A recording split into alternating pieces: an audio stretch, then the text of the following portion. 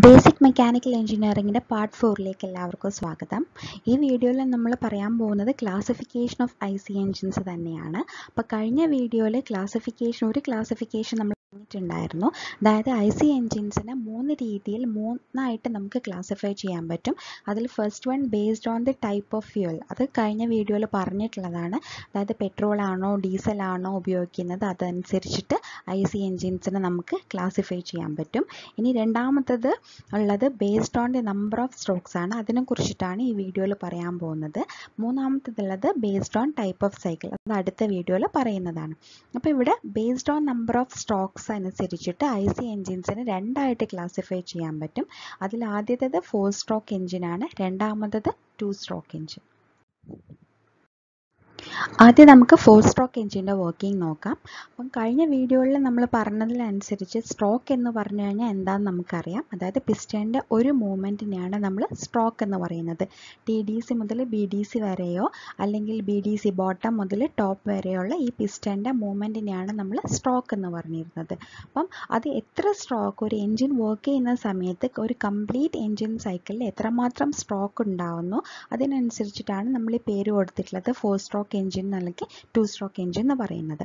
ഇനി four stroke എൻജിനിലാണെങ്കിൽ in four stroke engine cycle completes in four movements of piston അപ്പം നമ്മൾ നേരത്തെ explain ചെയ്തതുപോലെ തന്നെയാണ് നേരത്തെ നമ്മൾ പറഞ്ഞതൊക്കെ ഫോർ സ്ട്രോക്ക് എൻജിൻസ് ആണ്. അപ്പോൾ അവിടെ നേരത്തെ പറഞ്ഞ പോലെ നാല് മൂവ്മെന്റ്സ് ഉണ്ടാവും. അതായത് ആദ്യം സക്ഷൻ ഉണ്ടാവും പിന്നെ കംപ്രഷൻ ഉണ്ടാവും പിന്നെ പവർ സ്ട്രോക്ക് ഉണ്ടാവും നാലാമത്തത് എക്സോ സ്ട്രോക്ക് ഉണ്ടാവും.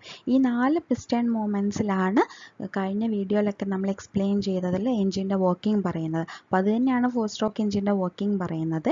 പിന്നെ അതിൽ പറയുന്നത് it requires two complete revolutions for one engine cycle എന്നാണ് അപ്പം ഒരു എഞ്ചിൻ സൈക്കിൾ എന്ന് പറഞ്ഞു കഴിഞ്ഞാൽ ഈ നാല് പ്രോസസ്സും കൂടി കൂടിയതിനെയാണ് നമ്മളൊരു എഞ്ചിൻ സൈക്കിൾ എന്ന് പറയുന്നത്.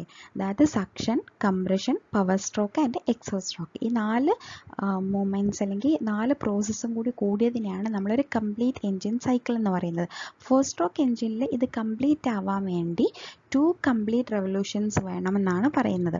അതിന്റെ അർത്ഥം എന്താണെന്ന് പറഞ്ഞു കഴിഞ്ഞാൽ ഇവിടെ നമ്മൾ ഈ പിസ്റ്റന്റെ കൂടെയാണ് ഈ ക്രാങ്ക് ഷാഫ്റ്റ് അറ്റാച്ച് ചെയ്തിട്ടുള്ളത്. അപ്പം with one movement of the piston the crank shaft makes half rotation എന്നാണ് പറഞ്ഞിട്ടുള്ളത്. അതായത് പിസ്റ്റൺ ഒരു പ്രാവശ്യം മൂവ് ചെയ്യുമ്പം താഴേന്ന് മുകളിലോട്ടോ മുകളിൽ നിന്ന് താഴോട്ടോ വരുന്ന സമയത്ത് പിസ്റ്റന്റെ ഒരു മൂവ്മെന്റിന് ഈ crank shaft one eighty degree rotate ചെയ്യും.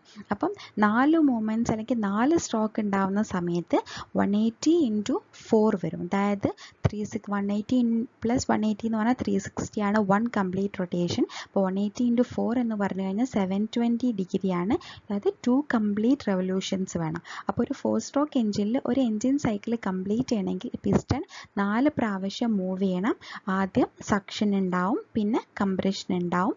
അത് കഴിഞ്ഞിട്ട് പവർ സ്ട്രോക്ക് ഉണ്ടാവും. അത് കഴിഞ്ഞിട്ട് വീണ്ടും എക്സോ സ്ട്രോക്ക് ഉണ്ടാവും. അപ്പോൾ ഈ നാല് മൂമെന്റ്സ് കൂടി കൂടിയിട്ടാണ് ഒരു എൻജിൻ സൈക്കിൾ കംപ്ലീറ്റ് ആവുന്നത്. അപ്പോൾ ഒരു മൂവ്മെന്റിന് ക്രാങ്ക് ഷാഫ്റ്റ് വൺ എയ്റ്റി ഡിഗ്രിയാണ് റൊട്ടേറ്റ് ചെയ്യുന്നത്. അപ്പോൾ രണ്ട് മൂവ്മെന്റിന് ത്രീ സിക്സ്റ്റി ഡിഗ്രി ആയിരിക്കും. അപ്പോൾ മൊത്തം നാല് മൂവ്മെന്റ് അല്ലെങ്കിൽ നാല് സ്ട്രോക്കിന് മൊത്തം സെവൻ ട്വന്റി ഡിഗ്രിയാണ് ക്രാങ്ക് ഷാഫ്റ്റിന് റൊട്ടേഷൻ ഉണ്ടാവുന്നത്. അപ്പോൾ അതുപോലെ തന്നെ ഇവിടെ power generated in two full rotations of crank shaft crank shaft രണ്ട് പ്രാവശ്യം കംപ്ലീറ്റ് റൊട്ടേഷൻ ഉണ്ടാവുമ്പോഴാണ് ഇവിടെ പവർ ജനറേറ്റ് ചെയ്യപ്പെടുന്നത്.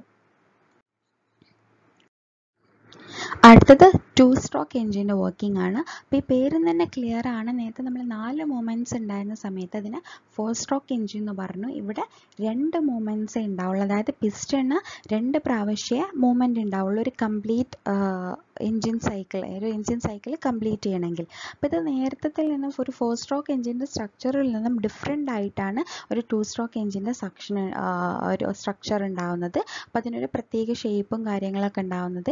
ഇവിടെ നമ്മൾ നേരത്തെ നമ്മൾ വാൾവുകളാണ് പറഞ്ഞത്. ഇൻലെറ്റ് വാൾവും എക്സോസ്റ്റ് വാൾവും ഉണ്ടാവും. അതേസമയം ഒരു ടു സ്ട്രോക്ക് എൻജിന് വാൾവുകളല്ല ഉണ്ടാവുന്നത്. പോർട്ടുകളാണ് ഉണ്ടാവുന്നത്. ഇൻലെറ്റ് പോർട്ടും ഉണ്ടാവും. അതേപോലെ എക്സോസ്റ്റ് പോർട്ടും ഉണ്ടാവും. ഇവിടെ പറയുന്നത് in two stroke engine engine cycle completes in two piston movements അതായത് രണ്ട് പിസ്റ്റൺ മൂവ്മെന്റ്സേ ഉണ്ടാവുള്ളൂ. അപ്പം പിസ്റ്റൺ ഒരു പ്രാവശ്യം മുകളിലോട്ടും അതേപോലെ ഒരു പ്രാവശ്യം താഴോട്ടും. രണ്ട് മൂവ്മെന്റ്സിൽ ഒരു എൻജിൻ സൈക്കിൾ കംപ്ലീറ്റ് ആവുമെന്നാണ് പറയുന്നത്. അപ്പോൾ അതെങ്ങനെയാണെന്ന് വെച്ച് കഴിഞ്ഞാൽ ഇവിടെ കമ്പൈൻഡ് സ്ട്രോക്കാണ് ഉണ്ടാകുന്നത് സക്ഷനും കംപ്രഷൻ പിസ്റ്റന്റെ ഒരു മൂവ്മെന്റിൽ തന്നെ സക്ഷനും കംപ്രഷനും ഒരുമിച്ച് വരും. രണ്ടാമത്തതിൽ പവറും എക്സോസ്റ്റും ഒരുമിച്ച് വരും. ഇതിനകത്ത് നമ്മൾ പറയുന്നത് സ്പെഷ്യൽ എൻജിൻ ഡിസൈൻ ആണ്. Ports are used instead of valves and an air tight crank cases used അപ്പം ഇതിന് നമ്മൾ ക്രാങ്ക് കേസ് എന്നാണ് പറയുന്നത് ഒരു എയർ ടൈറ്റ് സ്ട്രക്ചറാണ് വരുന്നത്. ഇവിടെ ടു പ്രോസസ്സസ് ഒക്കെ same time at one stroke of the piston അപ്പോൾ ഇവിടുത്തെ വർക്കിംഗ് എന്താണെന്ന് വെച്ച് കഴിഞ്ഞാൽ ഇവിടെ നമ്മൾ പറഞ്ഞു രണ്ട് സ്ട്രോക്ക് ഒരുമിച്ചാണ് വരുന്നതെന്ന് പറഞ്ഞു. അതായത് പിസ്റ്റൺ ഒരു പ്രാവശ്യം മൂവ് ചെയ്യുമ്പോൾ അതായത് ബി ഡി സിയിൽ നിന്നും ടി ഡി സിയിലോട്ട് മൂവ് ചെയ്യുന്ന സമയത്ത് ഇവിടെ ഓൾറെഡി ഉണ്ടായിരുന്ന എയറിനെ അത് കംപ്രസ് ചെയ്യും. ആ എയറിനെ കംപ്രസ് ചെയ്യാൻ വേണ്ടി ഇത് മുകളിലോട്ട് അതായത് പിസ്റ്റൺ താഴെ നിന്ന് മുകളിലോട്ട് പോകുന്ന സമയത്ത് ഇവിടെ ഓൾറെഡി കുറച്ച് എയർ ഉണ്ടായിട്ടുണ്ടാവും. ആ എയർ എയർ ഫ്യൂൽ മിക്സ്ചർ ആണെങ്കിൽ എയർ ഫ്യൂൽ മിക്സ്ചർ അതിനെന്ത് ചെയ്യും? അത് കംപ്രസ് ചെയ്യും.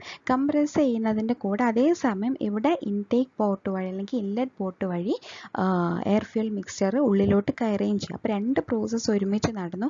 ഇവിടെ കംപ്രഷൻ നടക്കുന്നതിന്റെ കൂടെ തന്നെ ഇവിടെ സക്ഷൻ ഇൻടേക്ക് അല്ലെങ്കിൽ സക്ഷനും കൂടെ നടക്കുന്നത്. അപ്പോൾ ഒറ്റ സ്ട്രോക്കിൽ രണ്ട് പ്രോസസ്സ് ഒരുമിച്ച് നടക്കും. കംപ്രഷനും നടക്കും. അതേപോലെ തന്നെ അടുത്ത സെറ്റിന്റെ സക്ഷനും നടക്കുന്നുണ്ട്.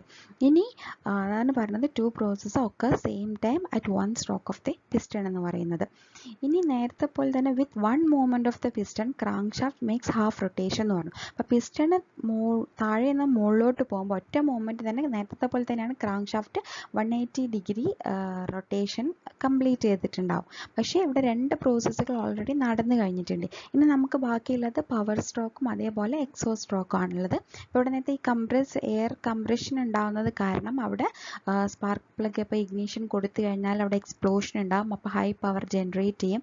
ആ ഹൈ പവർ ജനറേറ്റ് ചെയ്യുന്ന കാരണം പിസ്റ്റണ് മുകളിൽ നിന്ന് താഴോട്ട് വരും. ഈ പിസ്റ്റൺ മുകളിൽ നിന്ന് താഴോട്ട് വരുന്ന സമയത്ത് ഇവിടുത്തെ എക്സോസ്റ്റ് പോർട്ട് ഓപ്പൺ ആവും. അപ്പോൾ അവിടെ ഓൾറെഡി ഉണ്ടാകുന്ന ആ ഒരു കരിഞ്ഞ വായു അല്ലെങ്കിൽ ആ മിക്സ്ചർ എന്ന് പറയുന്നത് എക്സോസ്റ്റ് വാൾവ് വഴി പുറത്തേക്ക് പോകും. അപ്പോൾ രണ്ട് പ്രോസസ്സ് ഒരുമിച്ച് നടക്കുകയാണ് പവർ സ്ട്രോക്കും അതേപോലെ എക്സോ സ്ട്രോക്കും ഒരുമിച്ച് നടക്കുകയാണ് അപ്പം നമ്മുടെ നാല് പ്രോസസ്സുകളായിട്ടുള്ള suction compression power and exhaust നാലും കൂടെ ഈ രണ്ട് മൂമെന്റ്സിൽ കംപ്ലീറ്റ് ആയി. അത് പിസ്റ്റൺ ഒരു പ്രാവശ്യം മൂവ് ചെയ്യുമ്പോൾ താഴ്ന്ന് മുകളിലോട്ട് പോകുന്ന സമയത്ത് കംപ്രഷനും സക്ഷനും ഒരുമിച്ച് നടക്കും. അതേപോലെ പിസ്റ്റൺ പവർ സ്ട്രോക്കിന്റെ ഫലമായിട്ട് പിസ്റ്റൺ താഴോട്ട് വരുന്ന സമയത്ത് ഓൾറെഡി ഉണ്ടാകുന്ന ബേൺഡ് ഗ്യാസിനെ അത് ഔട്ട്ലെറ്റ് വഴി അല്ലെങ്കിൽ എക്സോസ്റ്റ് പോർട്ട് വഴി പുറത്തേക്ക് പോവുകയും ചെയ്യും. അപ്പോൾ ഈ നാല് പ്രോസസ്സ് നടക്കുന്ന നടത്താൻ വേണ്ടി പിസ്റ്റൺ രണ്ട് പ്രാവശ്യമേ മൂവ് ചെയ്തിട്ടുള്ളൂ. അപ്പോൾ പിസ്റ്റന്റെ ഒരു മൂവ്മെന്റിൽ crank shaft one eighty degree rotate ചെയ്യും.